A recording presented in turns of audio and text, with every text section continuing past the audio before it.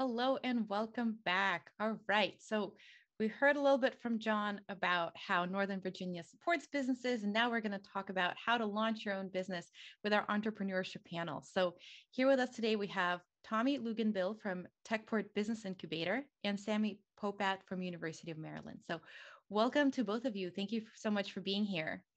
Thank you. Thank you. Thank you, Maya. Yeah, so uh, I'll go ahead and introduce yourself, Tommy. Uh, if you can please go ahead, just tell us a, little bit about who you are and what is it that you do with Techport Business Incubator. Sure, sure. So I am Tommy Luginbill. I'm actually from Rockville, Maryland, uh, about a tenth of a mile away from Game Gym. Uh, we um, couldn't tell from your from your flag. I'm just kidding. oh yeah, well it doesn't tell you how it doesn't tell you how close I am to the True. game gym. But True. I on, I honestly thought about just coming to the game gym to do this, but whatever. so so anyway, I run uh, Techport for University of Maryland. Um, it's a drone incubator, but it's become a lot more than that. Um, we deal with high technology and very recently with some of the things that Josh is doing and some of the friends in the esports community um, have gotten into um, a lot of media production and learning more about uh, games and the different businesses that surround them. So hopefully I get a chance to talk about that. Excellent. And Sammy? Yeah, thanks, Maya. And so I too work with Tommy actually, but not at the Techport at the University of Maryland, um, based in College Park, so a little bit further uh, from Rockville. Um, but what I'll say is um, I, I kind of wear many hats and kind of like an entrepreneurship, that's what ends up happening. So um, the reason I put in the title of ecosystem builder is that's kind of like the overarching um, principle of what I do. So at the university, I'm the campus connector, really helping to foster collaboration across campus, spe specifically around innovation and entrepreneurship. And the goal is really to help kind of activate all our faculty or students or staff kind of who are interested in that concept but not necessarily sure how they want to engage and what resources are available. And then I also manage our research park. So across the street from campus, we have the Discovery District, lots of cool companies, no gaming companies yet, but hopefully we'll get there. Um, but we're doing a lot of stuff with drones, um, quantum computing, things like that. And so I kind of manage the community, make sure that the people who are there get in touch with each other. We can recruit our students. We can have our faculty doing research projects. Some really cool stuff happening. And then the last thing, one of the things that you've got um, listed for me is Maverick, which is um, basically a really cool acronym, Mixed Augmented Virtual Reality Innovation Center. I got to give credit to my boss, Julie Lenzer. She came up with that name. Um, I'll tell the backstory when we get into the conversation, but that's kind of what I do on a day to day. Sounds good. Yeah. Now, before we launch into entrepreneurship questions, I promised Tommy we can talk about Fortnite. So, can you can you tell us because we just learned uh, as we are getting ready for for this call that Fortnite actually started in Maryland, which was news to a lot of a lot of us here. so I'm stealing Sammy's thunder because he's the one that brought it up backstage. Oh, okay. But but okay. it's okay. So, so okay, Sam, then so Sammy, go ahead. I, I got it wrong. Yeah, then. Sammy. I'm sorry. Yeah, Sammy, it's okay. no, I was um, admiring the car that was graded on uh, Tommy's desk, and I was like, "Huh, is that Fortnite?" He goes, "Yeah." And I go, "You know, that's a Terp company." He goes, "What are you talking about?" I go, "Well, Tim Sweeney is a University of Maryland alum, um, and he actually was at a computer science program." living in Potomac and kind of like that garage, uh, you know, to venture company. That was his idea was Epic Games.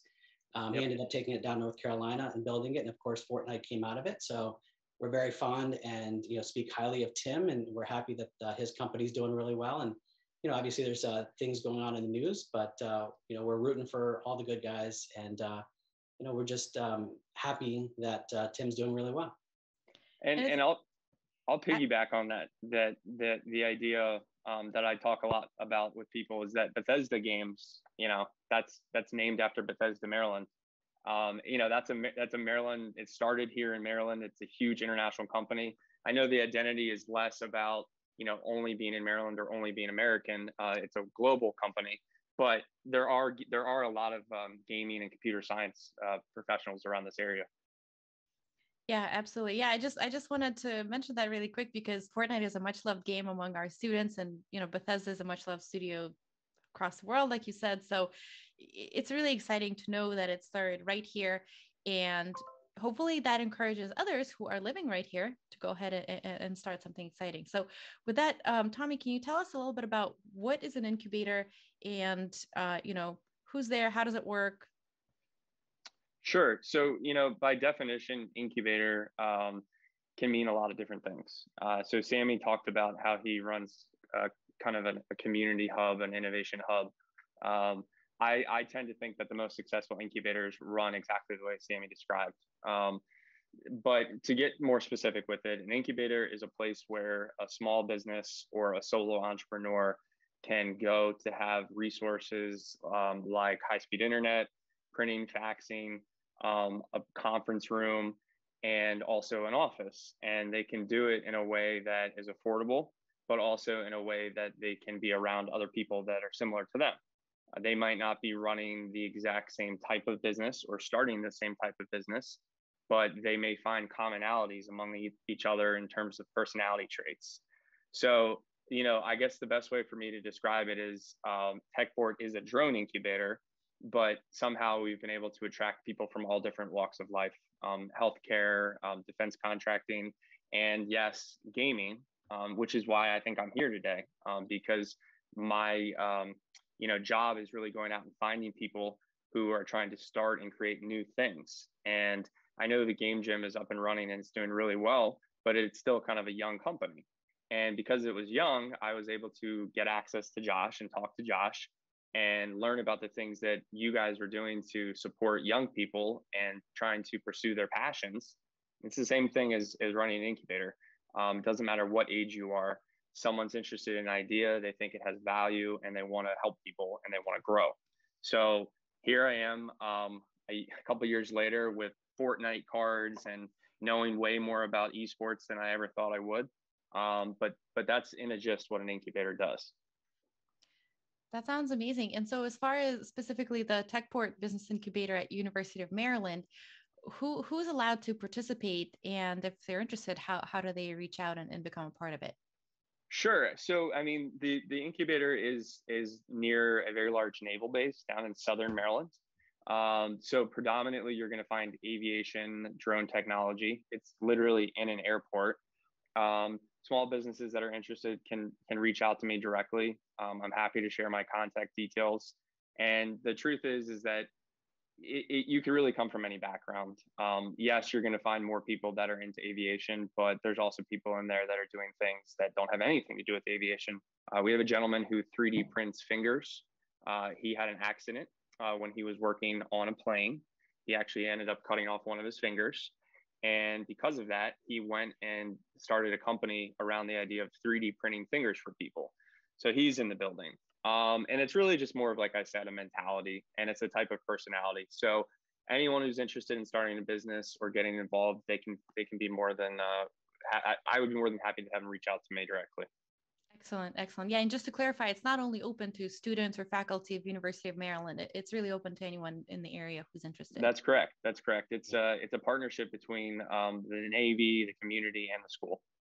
Excellent, excellent. Maya, can I add something there for Tommy? Yeah, um, absolutely. Um, so Tommy doesn't give himself enough credit, by the way. I think if you just took the definition of what Tommy said, in some ways you could call it a co-working space, but the truth is an incubator is much more deliberate and proactive and someone like Tommy, who runs the incubator, is one who actually cares not just about the community um, and not just the community that's there, but the community surrounding the tech port. And so the things that he does, not just around events and programs, but also ensuring that the people in the community get visibility, that he helps market and promote them. He identifies opportunities that may be of use, whether it's grants or funding or research. So I think to Tommy's um, point, you know, an incubator has much more than just a place where people come together but a place where someone like him actually helps activate them and supports them through their process of growing as a small business. That's true. And and to Sammy's point, you know, and thank you for the compliment, but it's also there are other people that surround it, right? So you do usually have the director of an incubator that's doing those things that Sammy defined, but then especially when you um, have an incubator from a university, you've got other people that are there to help you. So if someone were to call me from the College Park area, I would direct them to Sammy. Um, and so it's really just like a team of people that help. Um, but most the time, entrepreneurially minded, not necessarily someone who started a business, but someone who's kind of a big thinker who can support people and trying to do new things. That's a that's a really good addition, Sammy and Tommy. Thank you for clarifying because it's important to be in a community of like-minded people who who might support you, but uh, having somebody like a director or other folks in the community who are actively looking to connect you with resources that's sort of that next step that a lot of uh, businesses who are starting out need or actually most most or all the businesses who start out really really do need those resources. So that's yeah. a great clarification. Thank you for pointing that out. Uh, sammy you in your introduction mentioned maverick. So can you tell us a little bit about what that is? Yeah, so uh, back in 2017, uh, the university was looking at opportunities to really kind of uh, expand upon some of our centers of excellence and areas that we actually saw some you know, promising or enabling technologies. And one of them was AR, VR, right? So this idea of what we call extended reality XR. Um, the university has, has some really great programs within computer science. Um, I'm going to step back a little bit because there's a backstory that's kind of helpful. Sure. Um, so we talked about Tim Sweeney. We are also proud of another alum. His name is Brendan Iribe. Um, he was the CEO of Oculus when he sold it to Facebook. And so lucky for us, he came out with a nice windfall. He came back to visit the University of Maryland, and that is his alma mater, but he's also a local guy from Annapolis. Um, so we have a lot of cool people that are coming out of the, uh, the state of Maryland and also out of the university. And uh, Brendan was walking around campus, checking out his old, old computer science building. He's like, I can't believe I'm actually in my old building. Like we're still in the same building. It's about 15 years later. What would it cost to create a new building? And I think the people who were around him were kind of like, is he really, is he joking? Is this for real? And he, he's like, no, no, no. Like, what would it cost? And they throw out a figure and he's like, yeah, yeah, let's, let's do it. Like, let's make this happen. And, they're like, okay. So, I mean, uh, to the extent that someone who's very wealthy, um, but you know, he came about as an entrepreneur from the university, did really well for himself. He wanted to give back, and that was fantastic. But he also thought we could build a new building dedicated to augmented reality, virtual reality, uh, drone technology, robotics, and we're like, yes, that's exciting. Let's do that. So um, we are now lucky that the building is up. It's called the Iribe, um, Center for Innovation and Engineering, and it has AR VR space in it. But because of that, we actually thought we would go for a grant that would help us to build up an AR VR center of excellence. And I don't think that Maverick is exactly a center of excellence, but it's a hub for resources and information around XR. So um, I was telling you my boss came up with the name Maverick, and that was because back in 2017, I think Top Gun was going to come out Top Gun 2. And if you remember, one of the characters um, from the movie was Maverick. So it was like, how do we tie those two things together? We're like, hmm, you have enough letters, you put it together, mixed, augmented, virtual reality innovation center. Cool, let's do it. So to that extent, Maverick exists uh, because we're here to help the community and the ecosystem around XR build in the DC region. And we really think there's a lot of potential. We're not the same as what you have in Silicon Valley. We're not the same as you have in, in kind of Cambridge, Boston area, but we see a lot of potential here, not just in gaming, but also around uh, really positive social use cases. So implicit bias training, we can use it for autism research. We can do it around uh, negotiation, workforce development. So it's really cool in terms of what's popping up around the area. And we're excited to help kind of gestate and hopefully nurture that community so we can actually create a really vibrant, robust, diverse, and inclusive economy around XR here in the DMV.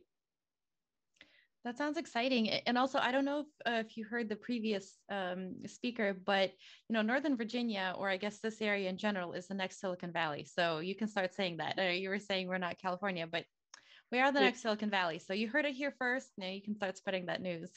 yeah, but I, I, I hear yeah. that a lot, and I've got to say, like, I, I try to step away from being the next Silicon Valley because I think there's a lot of takeaways from what's happened there. Um, one of the things that we're promoting at the university is actually the DC area is going to become the quantum capital of the world, and that's something we're really excited about. So, mm-hmm.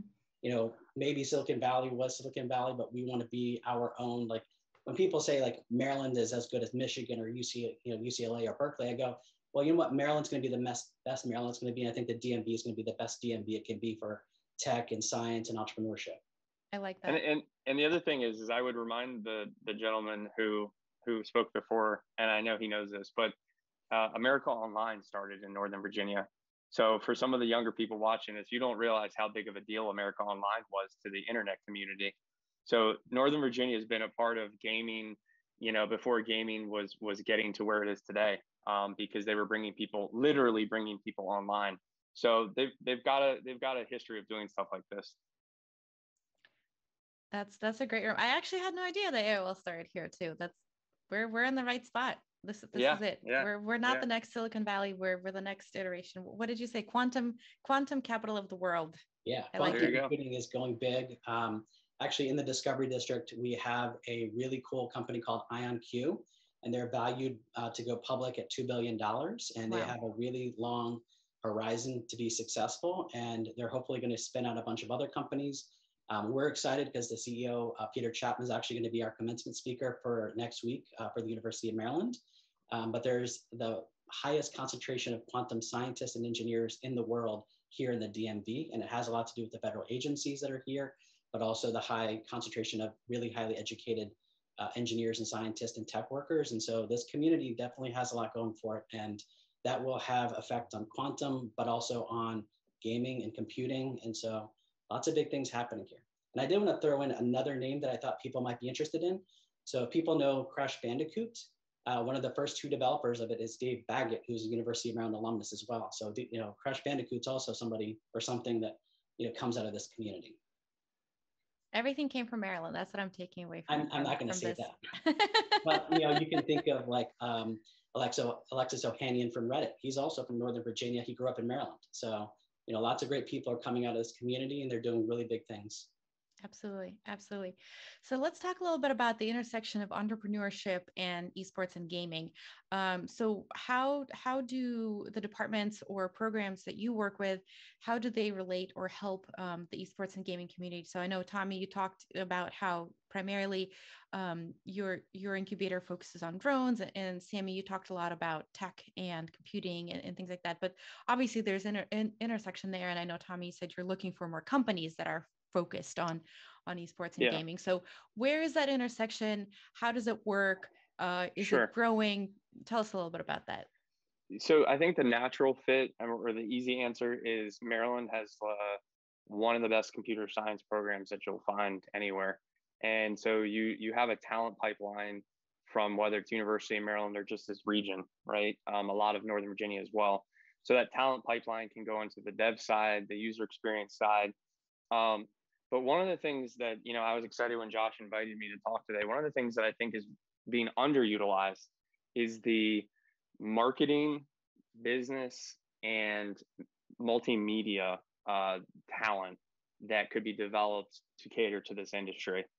There are some games and uh, studios that do top-notch work, and they're they're broadcasting and you know even the the way that they present things is is a full production. And it and it, it, it looks great. I think there was um, a league of legends there's a league of legends event going on right now. And i think it's like north america versus asia. And i'm looking at it and it feels exactly like any single um, you know physical sports game that you would watch because of all the commentators and the transitions.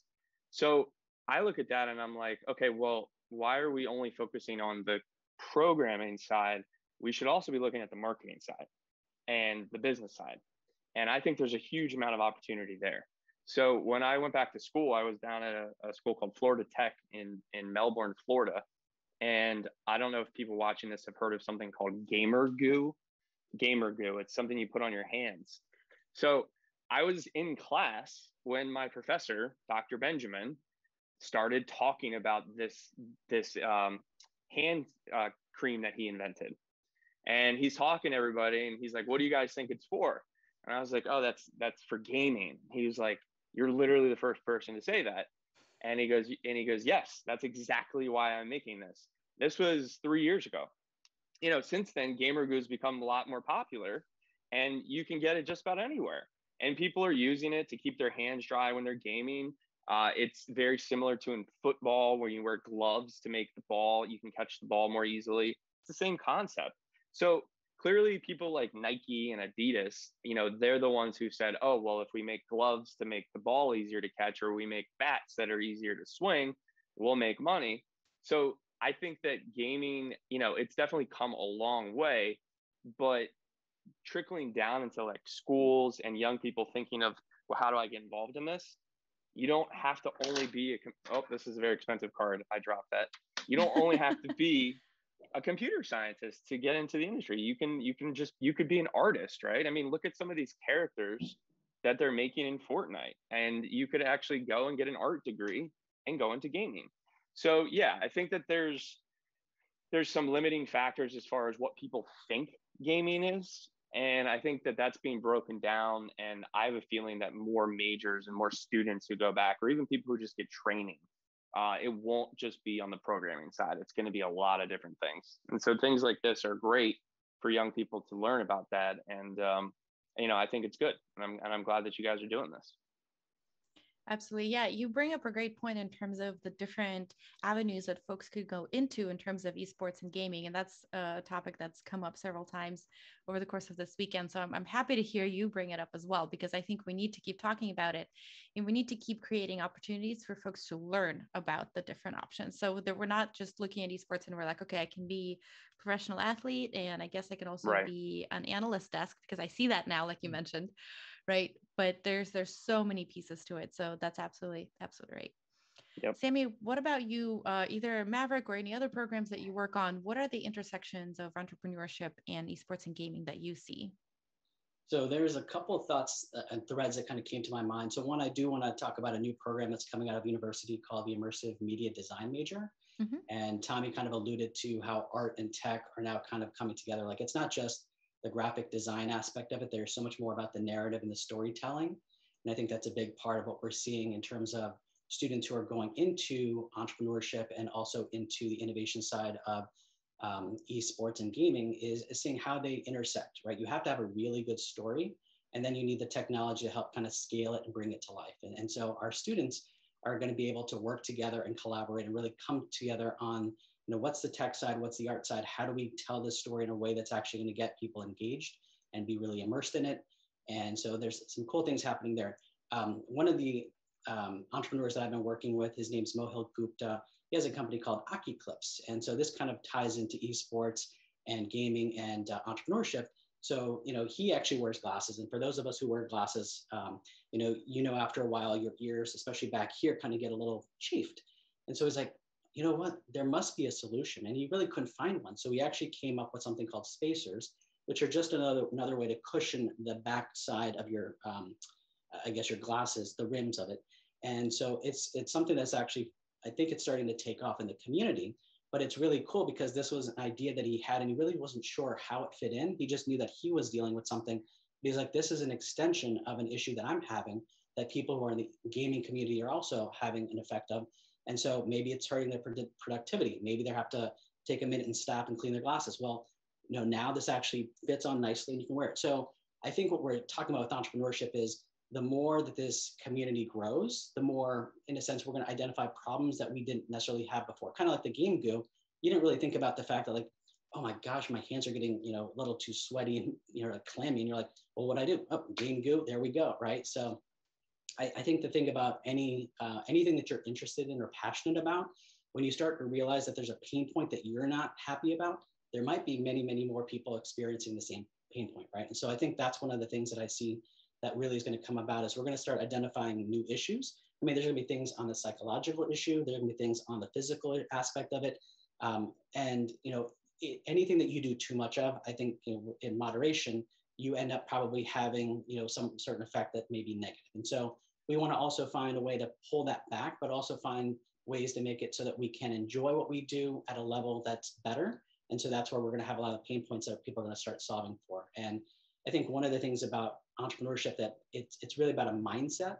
So coming at it from that kind of perspective of, hmm, what could we do to make this better? And who else is experiencing this same problem? And, and in what way are they experiencing it? Maybe it's different from my own, right?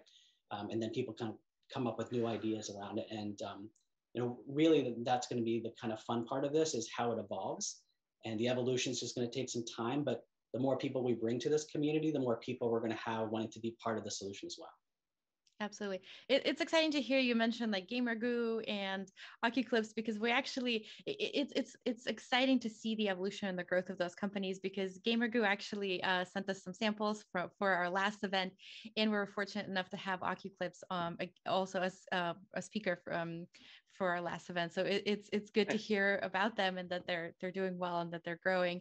And yeah. uh, I definitely hear you about the pinpointing uh, sort of issues or like points of pain like you said right that other folks might not think about because another speaker that we had uh, again in our in our last event um, developed a clothing company just for gamers and she was talking about how she noticed how uh, hoodies are too uh, the sleeves are too baggy. Like who you know it, it you have to really play a lot of games and watch a lot of gamers to pinpoint something so small right? She noticed that they would people would go like this when they first start playing so she makes hoodies that have tighter sleeves specifically for gamers and it's incredible.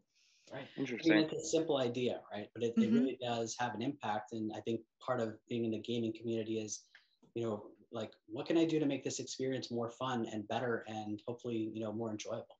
Absolutely. Yeah and, and the other thing to to mention is that i think again there's this there's this idea that gaming is only uh it only takes place in the digital world and that the opportunity is only in the digital world when the reality is is that it's it's now transcending into the physical world. You are selling tickets to arenas. Well when it's not covid you're selling tickets to arenas so you're putting on an entire entertainment experience because people physically want to go to the arena to watch the game. Your fortnite cards they're huge right now right? People are people are spending 20 30 40 50 thousand dollars on fortnite cards um, you know why? Because they started out playing the game and then they went into the card collecting industry. So what's interesting about that is there's there's two other ways that you could think of a new business or a pain point. The finance industry.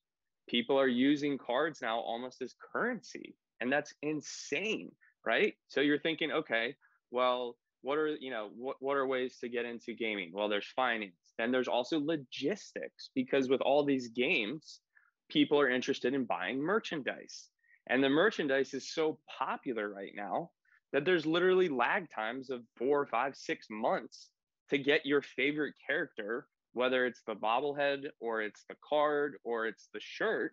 So how do you how do you improve that? And and the idea is really goes back to what Sammy said, which is if you get more people looking and understanding that it's not just about playing the game, that it's an entire lifestyle and community around it, you're going to see entrepreneurs that flow in. And maybe people that are on the call that are listening right now, maybe they're going to be the people that are coming up with these things. Absolutely. So, uh, Sammy, you mentioned that entrepreneurship is a mindset, right? It's about thinking, uh, okay, I see this issue or I see this pain point. How how can I help solve it? And Tommy, you just mentioned, you know, it's it's not about um, just the games, right? You can't have such a narrow view of it you have to see all the other aspects of it. So uh, keeping those things in mind what are some of the other sort of misconceptions about entrepreneurship that you see? And, and how do you help people really teach about what entrepreneurship is and, and how to get into it? I'm happy to kind of start tommy. So sure. um, I, I, think a lot of the misconceptions come around um, you know entrepreneurs being a certain type of person um, you know that they're either a young person who's coming out of college with a really cool idea and only knows tech.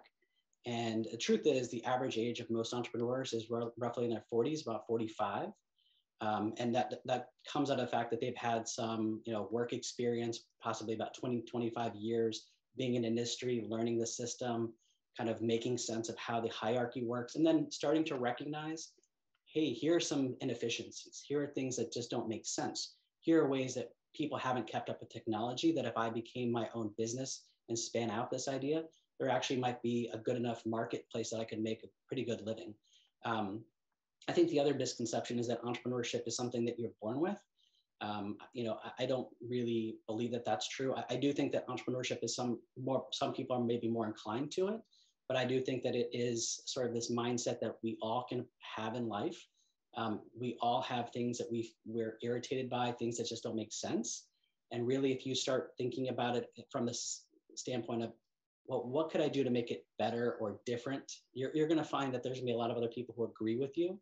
Um, and then, you know, the part of it that you have to remember is there has to be enough demand in the marketplace for it. So even if it's a good idea, it may not be good enough. Um, I'll give you an example. So um, the, the man who invented uh, the post-it note. He actually passed away uh, recently. The New York Times just did a nice obituary about him.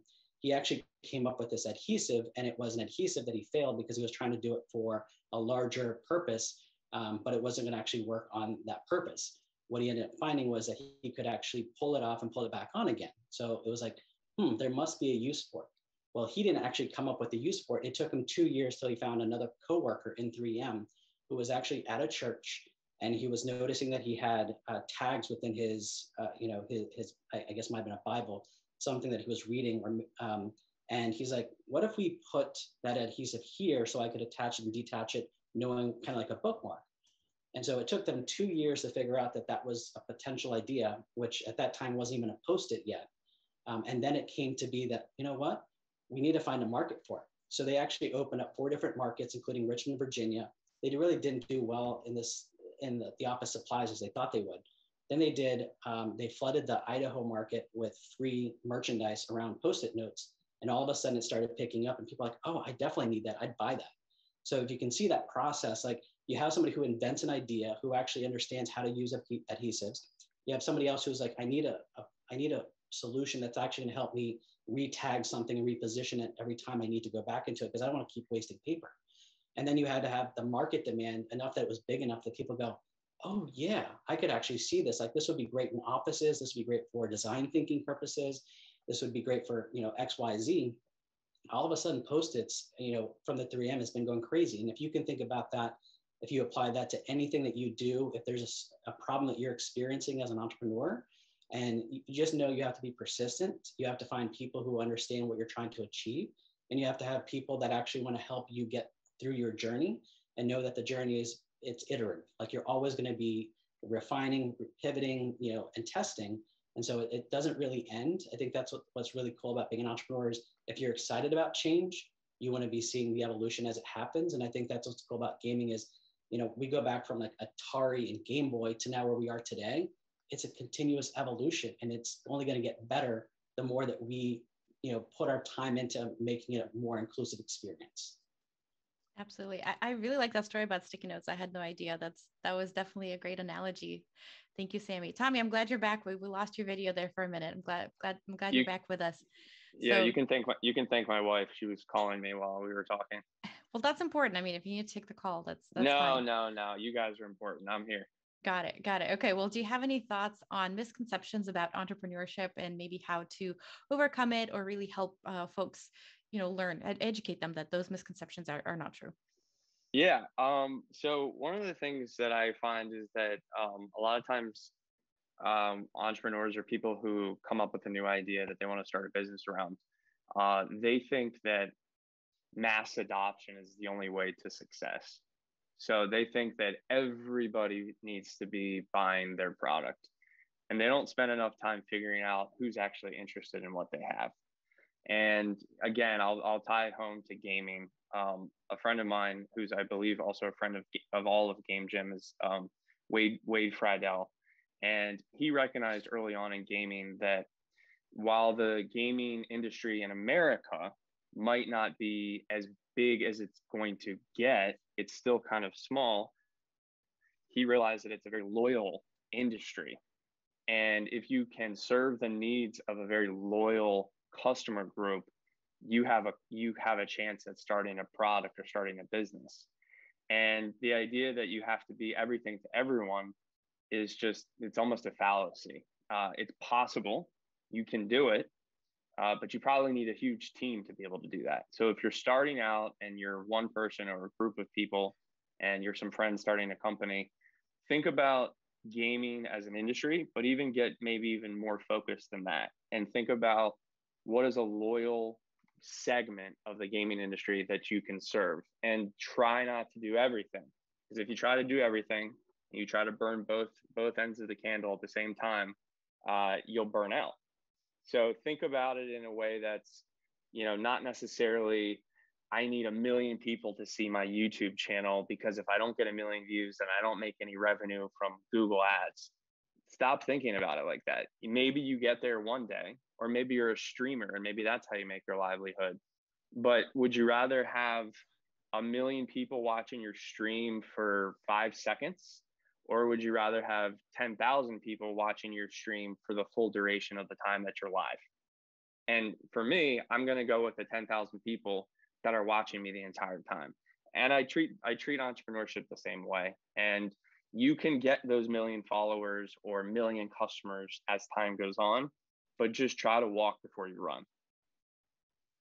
That's really great advice. And actually, that that uh, pivots into my next question, which is if you had to give, you know, one or two concrete pieces of advice for anybody who's looking to start their own business, um, big or small. I don't know if they're inventing the next VR headset or they just want to be a streamer, like you said, because that's that's honestly, you know, having your own business.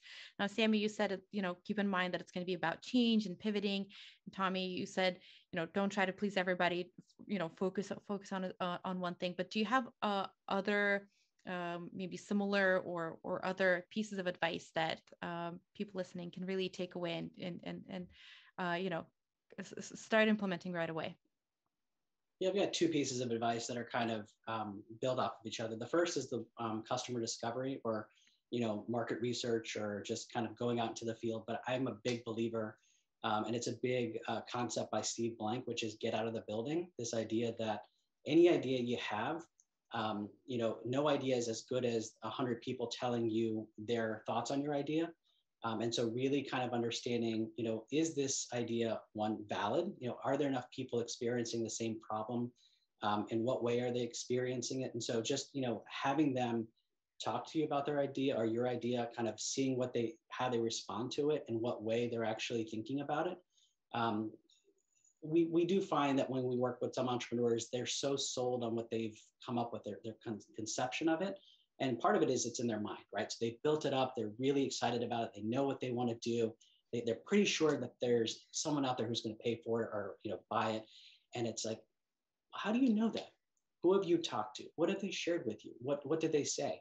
You know, maybe your idea is good, but maybe there's a way that you can refine it. And I think think to Tommy's point, you do have to start with a really small market or a niche market so you understand them really well. The more that you understand who wants what you want and what they're willing to offer to pay for it, you know, that information is going to be really valuable, right? And, and so I think being um, an entrepreneur is also go, just going outside, talking to as many people. The second part of that is just because someone tells you something doesn't necessarily mean they're telling you everything or what they see say doesn't literally mean exactly what you think it means, right? And so part of it is actually when you have enough feedback, you can start pulling out some threads there are some nuggets that you're going to come across and you're like, I think the actual problem that they're experiencing is this, but also this aspect of it's what's really bugging them. And so what they meant to say was not just that X is, you know, creating this issue, is that X is creating this issue at this specific time. I noticed that every single person who was driving their motorcycle hit this certain uh, speed limit and then all of a sudden there was a trigger and that's where the actual issue is. They just didn't know that it was the acceleration that was happening but i pulled that out from the threads because i noticed that was the same thing right? And so that's a really big thing about being an entrepreneur is do the customer discovery and then go analyze the feedback you get because you will actually find that there's really important and insightful information that will instruct you on how to build your business. That is very insightful. Thank you. That i never thought of that was really interesting. Tommy, what about you? I'm only limited to two things, right? No, you, you can as many as you want, but I'm trying to think of, you know, I'm if you can I'm give concrete pieces of advice that people can just write yeah. down right now as they're watching and they're going to yep. implement yep. them tomorrow. All right. Well, so um, the first thing is, oh man, you you better get used to people saying no, and and humility, whether you have it now or not, if you if you want to be an entrepreneur and you stay in it you will learn a great deal of humility.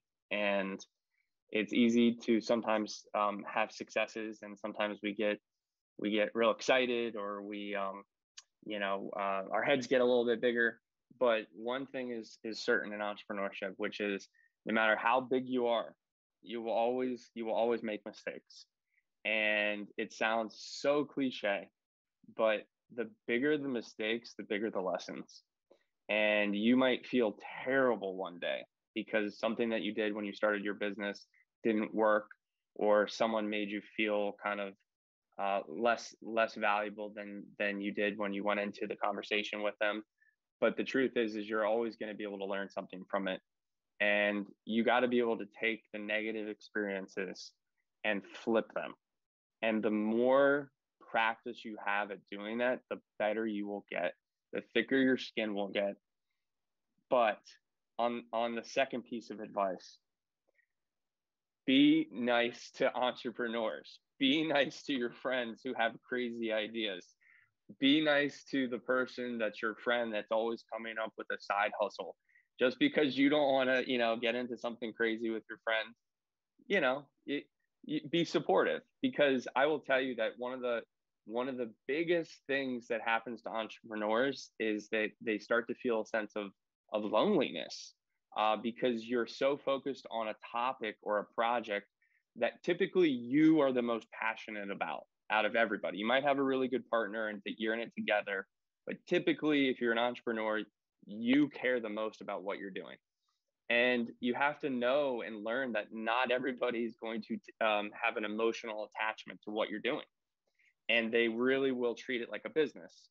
So, the advice that stems from that is to understand that just about every single entrepreneur I've ever met, with exception to maybe a few, wants to share their experience, wants to help you, and wants to talk to you because they know exactly what it's like to feel that way. They were you when when they decided, you know what, I'm going to start this business. They were you when they were in their parents' basement, you know, and they were like typing away trying to start their company. Or for me, I was in literally in my parents' garage and my computer froze. And I don't mean like the software froze, like I mean the actual liquid literally. in my screen froze because I was wearing a parka and there was no heater. And how do I talk to my friends about that? You know, my friends who have nine to five jobs and, and normal normal lives, they don't understand that. So if anyone's out there and you go for it, or you did just go for it, there are people who know what you're going through and they want to talk. And uh, I'll I'll cut myself off there because that's usually the most important thing is the human side of entrepreneurship, and that's that's what makes or breaks people. That's really important advice as well. Thank you. But but I think like even taking it further out, just be nice in general, not just entrepreneurs, just be nice. Simple. Because that's simple. That, yeah and it goes towards uh, your advice about humility right you you have to be nice to the people that you're asking advice uh, from and just in general like what we, we talked about um, on all of our other panels or speakers about toxicity or inclusivity like really being nice solves a lot of problems yes yes that was the you, so the professor in me was coming out and i I said what you said in like five minutes that you said in 30 seconds. So yes, just be nice. That's the advice. it's all right. Like explanation is good. Examples is good. Analogies helping people understand. It's, it's all good. All right. It's all good. good. So, uh, what are some uh, companies that are either a part of the incubator or maybe a part of Maverick or maybe not even a part of either of those, but uh, sort of up and coming companies that uh, you two are personally excited about? Maybe they're to watch uh, as part of like if you're interested in joining them or interested in looking and really learning from their experience and any any kind of companies out there you're excited about i feel a little bashful about this because i'm very fortunate and I, I, think tommy to that extent you know we at the university have a lot of great companies that are coming out of the university and, and maybe i'm being a homer by promoting them but you know i can talk very um, you know just gladly about IonQ. This is quantum computing company that has a lot of exciting potential. We have a company called Immuta that is doing data governance. That's going to be really big. We have another called Cybrary uh, that's doing online training. Uh, and they're all connected to the university. Another one that's called Medcura. They're about to release a product that's going to be in CVS. They've come up with a, a topical kind of cream that helps you clot blood really quickly. Mm. Um, and then another one called Inky that does anti-phishing. So, I mean, there's a lot of cool companies. And then we have another one called Airgility, which is doing drone technology that could be used um, even in COVID times to go into stadiums and spray UV light and help kind of kill off bacteria and viruses and just kind of really cool things like that. And um, we even have a student team called Blimp that's doing um, drone logistics. So a lot of cool things that are happening at the university that I'm really excited about. Uh, and so I feel bad if I'm, you know, shining too much light on the University of Maryland, but I do think there's a lot of great things happening here. And I'll say, you know, there are great things happening at George Mason and Georgetown and GW and Catholic, um, and of course, all the system schools in, in, in the state of Maryland. Um, and we're really excited about all of them. But part of it is we're part of this ecosystem. And so having these great tech companies and also even smaller businesses and ventures coming out of the area, I think is going to do a lot for economic development. And, and that's really what kind of entrepreneurship is, is this side of helping to build the economy in a certain region and hopefully to build and include many of the people in those communities that have been left out. And so that's one of the things that we are obviously being very careful about and deliberate. And I think uh, a good thing that's happening now is even companies are understanding that that's something that they have to build in for and train for and identify opportunities and on ramps. Um, and so we're doing a lot of things like that at the institution to make sure we have more women in tech, more underrepresented communities in tech, um, and, and, a lot of high schools and programs are doing the same thing. That sounds so amazing. It, uh, sorry, I'm just gonna say don't don't feel bad, but you know this is this is a question. Let's spotlight some of these companies that are doing amazing things. So if if people want to learn more about them, can we look them up on the University of Maryland website, or how do we learn about these companies? Yeah, I would definitely say go to discoverydistrict.umd.edu. So that's the uh, website for the research park that I manage. Um, and then we also have maverick.umd.edu if you want to learn about uh, connecting with Maverick. Um, and then we also have something called the Innovation Gateway. So this is open, um, something I worked on with my colleagues, basically an online repository of online resources for innovation or innovators and entrepreneurs, mostly affiliated with university, but it is open. Um, we also have something called a Small Business Development Center, which is connected to the state of Maryland and the University of Maryland. And so that's open to any entrepreneur in the state. Um, but yeah, innovate.umd.edu, check it out. Uh, we actually have a special uh, page dedicated to Black founders because we want to make sure that we can highlight more entrepreneurs of color and get them the support that they need. And so it's innovate.umd.edu slash Black founders. Excellent. That is amazing. Thank you so much. Tommy, I'm so sorry, I didn't mean to cut you off. Go ahead. No, yeah. no, no, no, no, no. Just one, one for me. And, and there's a tie into to, to being um, outside of the university, but also a part of the alumni group. Um, so Gridiron Card Group is uh, founded by a Terp uh, who graduated a few years back. And it ties into gaming because one, they do um, financial advising for professional gamers and helping professional gamers understand how to uh, manage money properly because a lot of these young people come into money at a very young age and there's usually a lot of it and it's very similar to um, physical pro athletes where there's issues with money because as soon as they come into it a lot of family members and friends um, they you know they see a lot of wealth and oftentimes these young people spend a lot of their money um, the other thing that they do is they um, they deal with collectibles and understanding the markets behind collectibles and alternative um, assets. So that's Gridiron Card Group, and the alumni uh, is a Terp. And then the other one, which which I'll highlight, is is is a good friend of mine, um, a guy named Dominic Fragman um, from something called Sonic Spirits, and he has found that he, as a musician, uh, with some of the things that he does and the media side of things, believes that there's a place for having open dialogue and conversations that connect to the gaming industry. And it goes more into the health side of it, being nice to people, having positive conversations, uh, not necessarily only talking about the specific games itself, but more about the people behind the games that are playing them. So those are my two plugs. And um, yes, they're local, uh, but they're just a little bit different. And um, I really highly encourage everybody to look them up. Thank you. Thank you. And can you remind us? So Sammy did a good job to telling us how people can get involved with Maverick. Can, Tommy, can you remind us how people can get involved with the business incubator? Sure, sure. So you can reach out to me, Tommy, at umd.edu, or you can check us out at techportumd.org. And again, we are right in Southern Maryland. And uh, my email address is very easy. It's literally my first name at umd.edu. So typically that's the one that people remember and uh, I'm always happy to talk to new people. Excellent. Excellent. Well, Sammy, Tommy, thank you so much. This has been incredibly insightful and interesting and engaging. We really appreciate your time being here and shedding light on entrepreneurship, which I think a lot of people don't know very much about. So thank you for, for being here and sharing your thoughts. Thank you. Thank you very much. We really appreciate your time and we will take a 15 minute break and we will come back with our final panel of the weekend.